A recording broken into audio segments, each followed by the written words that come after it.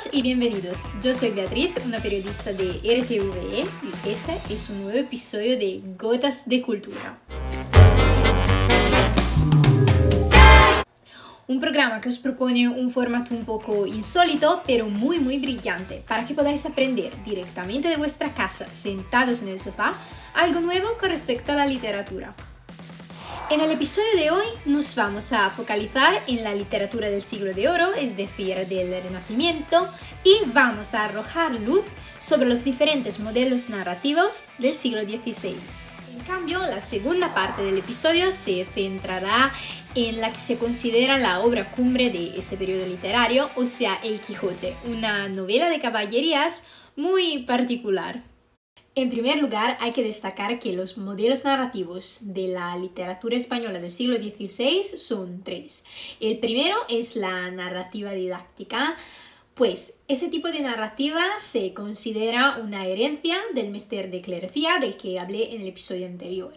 El objetivo de la narrativa didáctica es enseñar algo, o sea que tiene un propósito moralizante. Además, Cura mucho el estilo y la forma y se desarrolla bajo forma de diálogo. Otro modelo literario es lo de la narrativa idealista, que ya existía en la época de los reyes católicos, pero en el siglo de oro se desarrolló aún más. Ese tipo de narrativa no presenta el mundo de manera verosímil, sino que lo hace de una manera ideal. Y es muy importante destacar también que la narrativa idealista se desarrolla en unos submodelos que ahora vamos a ver. El primer submodelo es lo de las novelas de caballerías. Esas novelas se desarrollan en la Edad Media y tienen como protagonista un caballero valoroso, honrado, con una conducta impecable y que dedica todas sus hazañas a una dama. El escritor cuenta las aventuras del caballero como si fueran acontecimientos reales. Esas historias permitían divertir y entretener al público y representaban una forma de evasión de la vida cotidiana. Luego hay la novela bizantina, que cuenta la historia de dos enamorados, entre los que ha florecido un amor casi idealizado. Se desarrolla en lugares eh, lejanos y exóticos e incluso si presenta innumerables peripecias, se caracteriza por un desenlace feliz. La novela pastoril es otro submodelo de la narrativa idealista y llegó a España a mediados del siglo XVI cuando las novelas de caballerías ya estaban en decadencia. La acción se desarrolla en un mundo bucólico y por lo tanto las novelas pastoriles siguen el modelo de las églogas de Virgilio. Las églogas son unos poemas dialogados en los que unos pastores idealizados que viven en un mundo bucólico que Virgilio llama Arcadia pasan su tiempo a contarse historias de sus amores desdichados. Y las novelas pastoriles tienen los mismos protagonistas, o sea, pastores que cuentan historias de sus amores. La novela morisca es el último submodelo de la narrativa idealista y cuenta de manera idealizada las relaciones entre moriscos y cristianos, los personajes son nobles y esas novelas solo exaltan, solo cuentan las cosas bellas de la vida. La novela realista es el último modelo narrativo de la literatura renacentista. Nace y se desarrolla en la mitad de 1500 y cuenta la realidad del siglo XVI de manera verosímil. Por lo tanto, arroja luz sobre todas las desigualdades e injusticias que caracterizan ese periodo. También se habla de novela picaresca, que es una forma de narrativa realista. Según unos estudios, la novela picaresca surgió como imitación o como continuación de obras literarias anteriores de autores como el arcipreste de Y lo que se considera ser el primer ejemplo de eh, novela picaresca es El Lazarillo de Tormes. Antes de empezar a subrayar las características de ese tipo de novela, hay que destacar que el honor en la España del siglo XVI era uno de los elementos más importantes que constituían la personalidad de los hombres que pertenecían a las clases altas. Y hasta este momento la literatura reflejaba el modo de vida y los valores de los nobles y de los caballeros. Sin embargo, los autores, cansados de los convencionalismos de la literatura idealista, deciden empezar a representar la realidad tal y como es. Por eso eligen como protagonista de sus novelas un personaje de bajo estrato social y de escasas virtudes, que para sobrevivir en una sociedad tan injusta y llena de desigualdades como la del siglo XVI, utiliza cualquier tipo de recurso sin escrúpulos, es decir, roba, estafa, engaña y a ese personaje se le da el apodo de pícaro. Importante destacar que no hay que condenar a esa persona por su comportamiento, ya que él vive en una sociedad que es injusta y que lo obliga a portarse así. Ahora nos vamos a focalizar en las características de la novela picaresca. El autobiografismo, o sea que el protagonista narra su vida y sus aventuras en primera persona. Es episódica, o sea que está formada a base de escenas sueltas y se desarrolla en escenarios diferentes en los que hay personajes distintos. El protagonista encarna el antihéroe, es decir, un hombre sin honra, pobre, solo y no siempre honesto. Realismo. En la novela picaresca se reflexionan las características de la sociedad del siglo XVI. La novela picaresca es moralizante, es decir, que el pícaro reflexiona de manera crítica sobre su propia conducta, pero también sobre la moral de la época. Como ya he adelantado en la novela picaresca, muchas son las alusiones críticas. Además, los secretos más íntimos y más uh, deshonrosos de los personajes son presentados en forma cómica. Bueno, ahora os voy a hablar brevemente del Lazarillo de Tormes, que se considera el primer ejemplo de novela picaresca.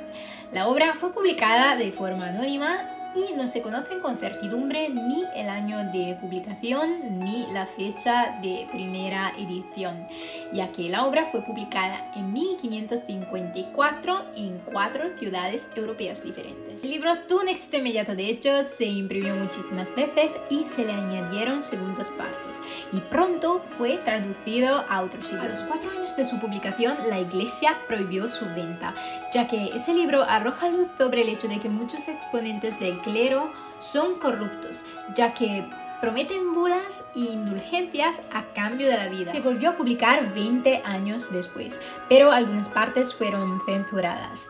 Luego, la venta se prohibió de nuevo y no se volvió a publicar hasta el siglo XIX.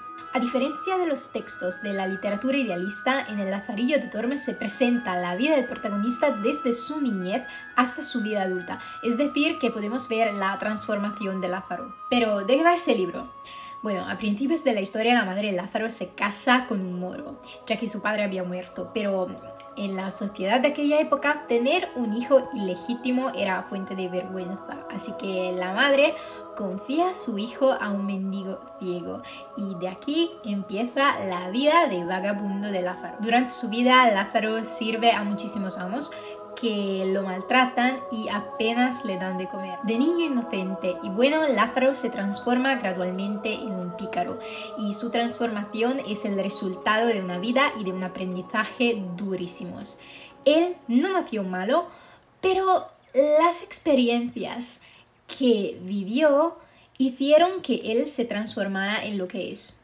Bueno, ahora nos vamos a focalizar en la que se considera la obra cumbre de la literatura española, el Quijote. Esa novela fue escrita por Miguel de Cervantes en 1605. En primer lugar, es muy muy importante subrayar que el Quijote integra las tres corrientes narrativas del siglo XVI, es decir, eh, las de las que hemos hablado antes, o sea, la narrativa didáctica, la idealista y la realista. El Quijote Sigue el patrón de las novelas de caballería, sin embargo, propone sus ingredientes en forma de parodia y por eso se puede pintar como una crítica de las novelas de caballerías.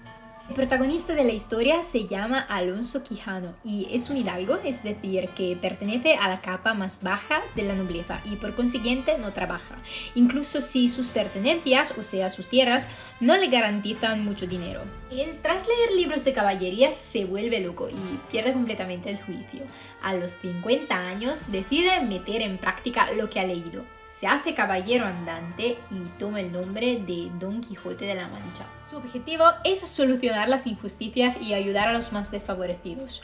Don Quijote representa un poco la que es la antítesis del protagonista de las novelas de caballerías. De hecho, él no es joven, no es valiente, sino que pues es bastante viejo y además está loco. Incluso Don Quijote, al igual que los protagonistas de las novelas de caballerías, dedica sus hazañas a una mujer. De todas formas, es importante destacar que ella, en lugar de ser una princesa hermosa, es una campesina y es bastante fea. Se llama Dulcinea del Toboso y el Quijote, por medio de su imaginación, la transfigura y la idealiza. Don Quijote no tiene una armadura brillante, sino que la suya es un poco abollada y vieja como su caballo, Rocinante, que es flaquito y anda bastante lento. Don Quijote tiene un escudero, Sancho Panza, un campesino bajito y algo regordete. La relación entre los dos personajes es muy muy interesante, ya que ellos ven dos mundos contrapuestos. Si por un lado Don Quijote es un loco que actúa como si fuese un sabio, un hombre lleno de ideales y que hace que su fantasía sea la base de sus hazañas, por otro, Sancho es una persona muy muy concreta y su papel es lo de hacer volver el Quijote a la realidad. Él es muy astuto, pero al mismo tiempo es ingenuo, ya que se crea todo lo que Don Quijote dice. Sin embargo, a lo largo de la historia Don Quijote se concretiza un poco y en cambio Sancho empieza a ser soñador. Contrariamente a las novelas de caballerías que siempre tienen un desenlace caracterizado por éxito y triunfo, las aventuras de Don Quijote y de su escudero siempre acaban mal, es decir, que él y Sancho se toman palizas. Cervantes detestaba los libros de caballerías por resultar fingidos, absurdos y disparados, y por lo tanto el objetivo del autor a través del Quijote era lo de generar una crítica punzante a ese tipo de novelas. Sin embargo, el resultado de la obra de Cervantes superó con creces su inicial pretensión, y la importancia del Quijote radica en la genialidad descriptiva del autor.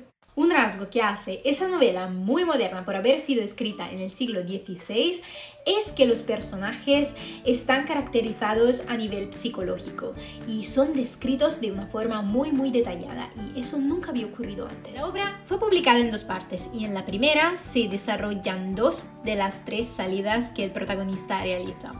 En la salida inicial, Don Quijote viaja solo por su tierra, es decir, La Mancha. En cambio, en la segunda parte, Don Quijote es acompañado en su viaje por su escudero, Sancho. Antes de que Cervantes publiquese la segunda parte del Quijote, salió otra novela que tenía como protagonistas Sancho y Don Quijote, y se opina que esa novela fue escrita por un tal Avellaneda.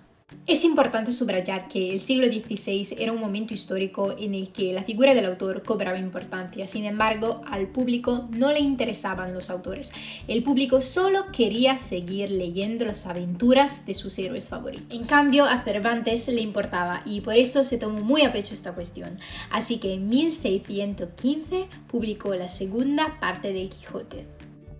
La segunda parte de la obra cuenta la última salida de Don Quijote, su regreso a casa, la vuelta a su sano vicio y, finalmente, su muerte.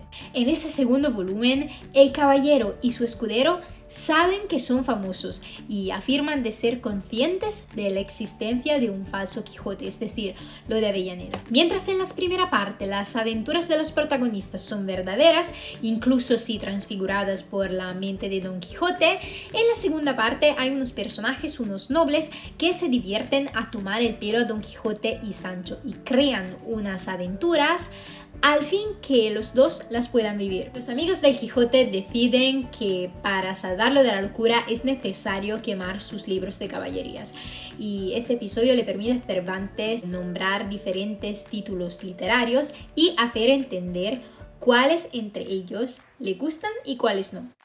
La novela del Quijote hace reflexionar sobre la esencia misma del género de la novela y por lo tanto se define metanovela. Además, el hecho de insertar dentro de una ficción otras ficciones se define mise en abime. Bueno, el episodio de hoy acaba aquí. Espero que os haya gustado y que hayáis aprendido algo nuevo. Muchas gracias por la atención y hasta el próximo episodio.